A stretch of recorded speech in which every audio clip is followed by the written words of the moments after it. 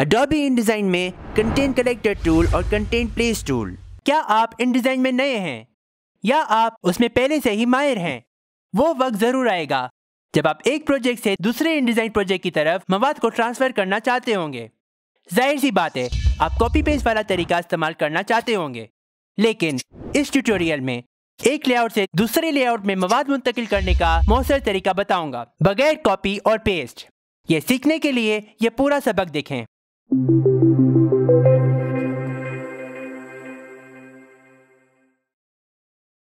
Green technology science book इस्तेमाल करके दिखाऊँगा कि ये कैसे काम करता है।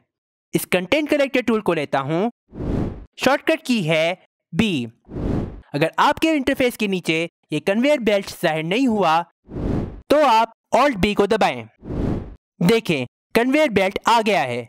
फ़िलहाल के लिए मैं कंटेंट कलेक्टर टूल इस्तेमाल करके इस कन्वेयर पैनल में तस्वीरें डालना चाहता हूँ। ध्यान में रखें, ये तरीका तब काम करता है जब आपके यहाँ दो इन डिज़ाइन प्रोजेक्ट खुले हुए हों। मैं ए फोर साइज़ डॉक्यूमेंट बनाता हूँ। वैसे, अगर आप इन डिज़ाइन प्रीसेट्स को सीखने में दिलचस्पी रखते होंगे तो उस ट्यूटोरियल का लिंक डिस्क्रिप्शन में शामिल है। कन्वेयर बेल्ट खुला हुआ हो, इस टूल बार में से कंटेंट पेज टूल लेता हूँ। शॉर्टकट की है बी इस पैनल में से इन तस्वीर को लेता हूँ। और इन्हें सिफे पे कहीं भी पेश करता हूँ। आप सिफे पे कहीं पर भी क्लिक कर सकते हैं। अब देखें कि ये इम्पोर्टेड तस्वीर यहाँ पे प्लेस हो गए हैं।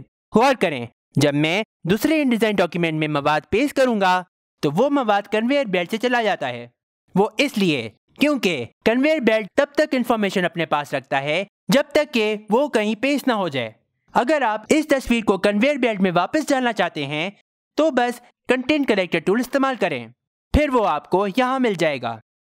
तो खुलासा ये है कंटेंट कलेक्टर टूल एक डॉक्यूमेंट में से मवाद को उठाता है और कंटेंट प्लेस टूल उस मवाद को दूसरे इन डिज़ाइन डॉक्यूमेंट में पेश करता है। आज का टिप आप सोच रहे होंगे कि मुझे इस टूल की क्या ज़रूरत पड़ी है, जबकि मैं आराम से कॉपी पेस्ट कर सकता हूँ। फिर मेरे पास इस चीज़ का जवाब है। फ़र्ज़ करें कि आप इस मवाद को इधर से कॉपी करके दूसरे डॉक्यूमेंट में पेश करना चाहते होंगे। लेकिन आपने गलती से कुछ और कॉपी कर लिया होगा। फिर आपको वो सारा पैराग्राफ फिर से कॉपी करना पड़ेगा और पेस्ट करना होगा। कन्वेयर पैनल की मदद से आपका मुंतकिल हुआ मवाद महफूज रहेगा। ये क्लिपबोर्ड जैसा काम करता है, जो कि खास करके इन डिज़ाइन इस्तेमाल करने वालों के लिए होता है। अब चाहे आप कुछ भी कॉपी क्यों न कर लें, आप कन्वेयर पैनल की मदद से दूसरे डॉक्यूमेंट में वही मवाद पेश कर सकते हैं। अब जाएँ और जो चाहें आप कॉपी करें।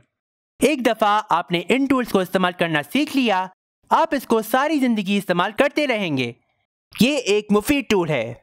ये मवाद को कॉपी और पेस्ट किए बगैर मवाद को तरतीब में मुंतकिल करने का आसान तरीका है। मुझे उम्मीद है कि इस सबक से आप दो ज़बरदस्त टूल्स इस्तेमाल करना सीख गए होंगे, जो कि आपके इन्फॉर्मेशन को आसानी से शेयर कर सकता है, बगैर कॉपी और पेस्ट अगर आपको कोई भी सवाल हो तो नीचे कमेंट सेक्शन में ज़रूर पूछना। मैं आपको रिप्लाई ज़रूर करूँगा।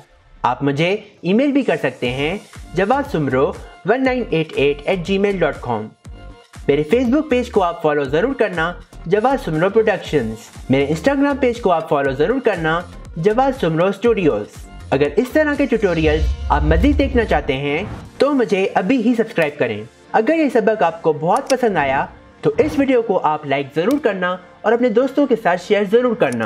अगर आगे जाकर आप मेरा कोई भी ट्यूटोरियल मिस नहीं करना चाहते तो नोटिफिकेशन बेल आइकन को ज़रूर दबाएँ। अब मैं आपसे नए ट्यूटोरियल में मिलूँगा। आप अपना ख्याल रखना। अल्लाह हाफिज़।